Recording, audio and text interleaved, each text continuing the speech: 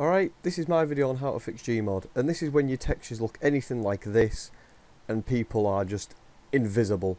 It makes it impossible to play the game as you can't see anyone, and your textures are awful.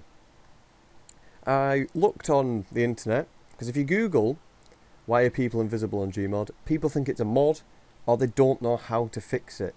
So after messing around for a, a few hours, I actually came across a solution what you have to do is open up Steam, go to your library, right click Gmod and go to properties. After that, you browse your local files and you notice that it comes up in common. Well the problem is, is that you have a username Gmod and you have a common Gmod. So what you have to do is highlight all these files from your username, copy them,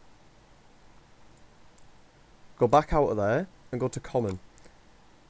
Find your Gmod in the common folder, highlight all the files, delete them, and then paste the files from your username. And I'm not going to do it because I'll have to download all the files again. Because after you've done this, open the game in Steam and it'll download 2 gig of files again.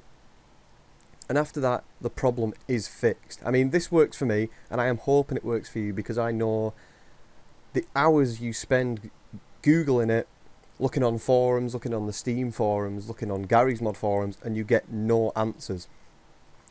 So give that a try and comment on it, message me and tell me if it works or it doesn't work. And if you're still having problems, just message me and uh, I'll try the best I can to help. Thanks.